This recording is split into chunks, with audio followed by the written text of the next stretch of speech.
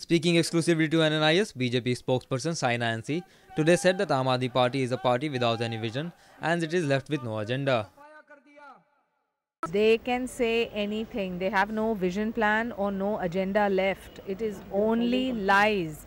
The fact we are filing a complaint shows that we are true to our cause.